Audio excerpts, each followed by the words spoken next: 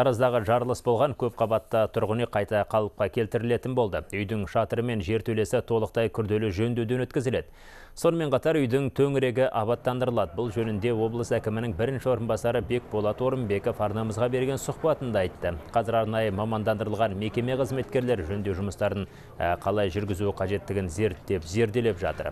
Мамандар үйдің қалған бөлігін жарамды деп тауып, төрт пайдездің тұрғындар пәтерлеріне қайта қоныстандырылды. Су, жылу, газ, электр энергия қайта қосылды. Енді зардап шеккендерге келген шығын көлемі есептеліп жатыр.